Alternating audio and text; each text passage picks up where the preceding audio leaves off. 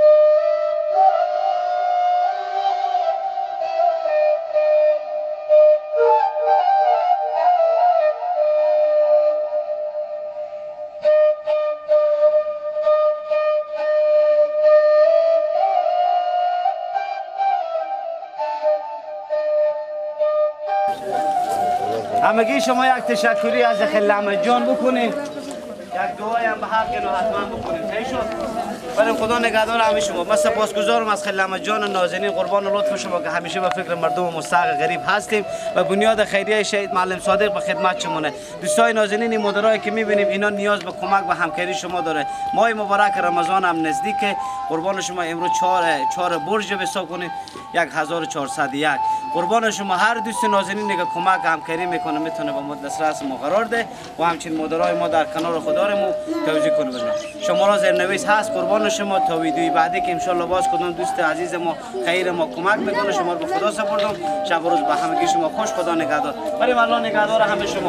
دیگه شما چرب شد دعا بکنید خدا حافظ شما خدا حافظ ناصر شما. بریم بخیر. خدا حافظ شما. خدا نگهدار. سلامت باشید بخیر باشید